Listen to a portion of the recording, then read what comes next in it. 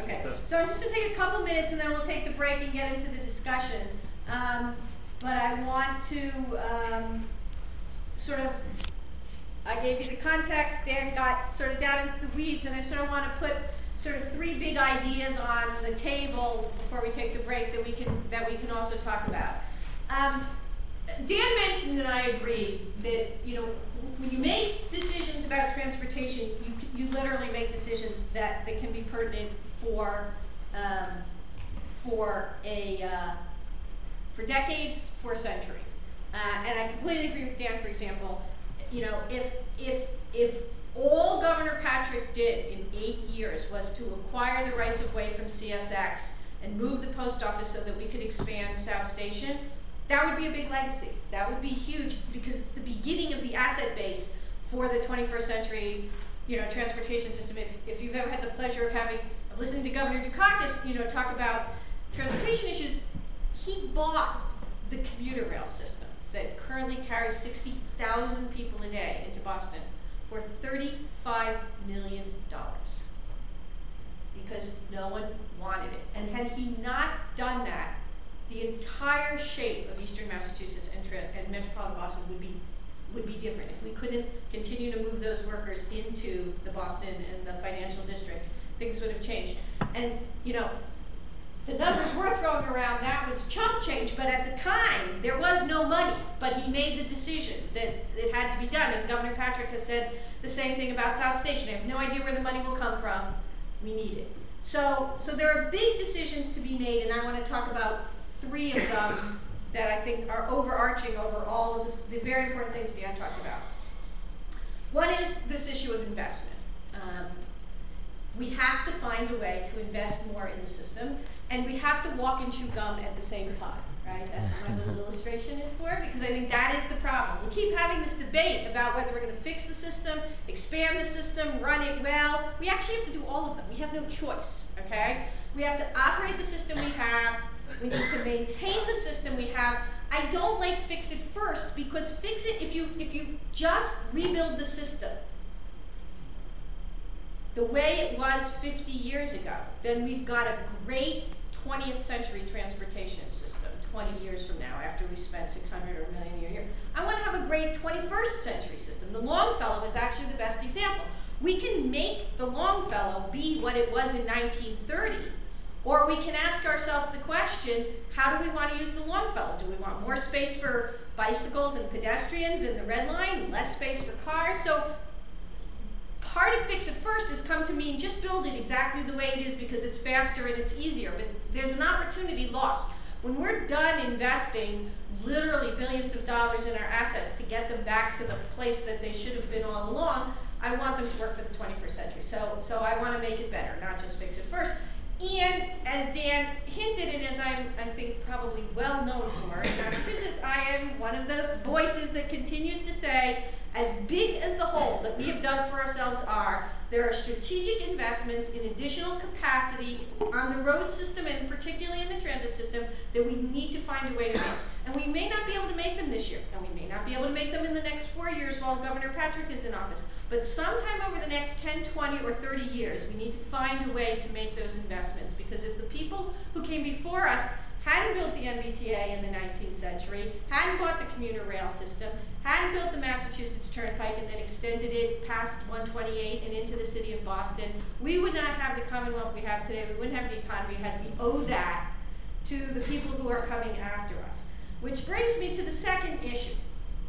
We have no idea what a 21st century transportation system for the Commonwealth of Massachusetts looks like. Completely clueless. We are so overwhelmed with the set of issues that Dan just presented, which every one of which is legitimate, and there are dozens of others that we haven't even put on the screen tonight. That we we have lost the ability to take a step back and said, what is the big picture over decades? And we did that once in this state, 40 years ago, this year. 40 years ago, Frank Sargent, on February 1st, 1970, stood up at a microphone and said something that no politician in the United States of America would ever open a press conference with today. He opened the press conference on the question of whether he was gonna build that highway system, which would go right through this campus that we are standing on now. And he opened the press conference and he said, I was wrong. He stopped the highway construction and he set in motion something called Boston Transportation Planning Review, which basically came up with everything from the third tunnel to the airport, the depression of the central artery, the decision to extend the red line past Harvard Square out to Alewife, decision to, uh, to take down the old L and build the new orange line.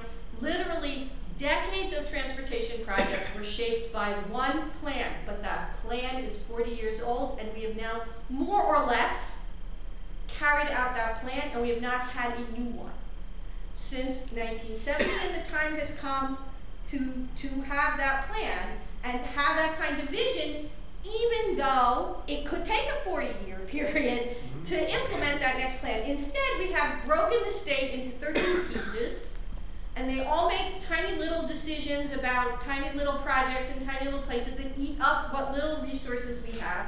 And we really need that. I would, my biggest piece of advice to the governor is you have to find a way even with the system in the, in the financial state it's in, and even with the politics of these 13 metropolitan planning organizations, you have to find a way. And if, if a second term governor who's not running for re-election can't do it, then no one can. Because the, the beauty of being, and I'm sure this has come up in the other classes and will come up next week, the beauty of a second term governor who is not running for re-election is you've been there long enough to figure out how the system works, and you can make as many people angry as you as you want to make angry as you because you're not running for re-election before. So, you know, this is, this is like, this is the last planning document that we came out with. This is laundry list of stuff that, you know, does not get us anywhere. That's, we need a new Boston Transportation Planning Review. And then the last piece I will leave you with before the break, and I know you talked about the climate change two weeks ago, but, and I didn't have the pleasure of hearing Joe and Jim speak. Transportation is the largest emitter of greenhouse gases and it is the fastest growing. If you look at the blue line at the top of the chart, that is the projected trajectory. We will, we will, the transportation sector will single-handedly emit more carbon between now and 2020 than we can reduce from all the building projects that we now have on the books. If we do not figure out how to create a 21st century transportation system that emits less carbon, it will not matter how many buildings we stick solar cells on and put more insulation into. We have to make it work. Um, to their credit, the Patrick administration launched a project called Green DOT uh, during 2010 and said that the transportation department's job is to reduce greenhouse gas emissions, is to is to promote walking, biking, and transit, and is to support development. And that is a big deal because most transportation departments would tell you that their job is to move people from point A to point B. So this is not a you know a typical set of goals that are established by a transportation department. The challenge for the next four years will to be to put some flesh on the bones of this commitment that is made in the Green DOT. So I'm going to stop there. We'll take our break, and then after the break, we'll have lots of time to talk about lots of things.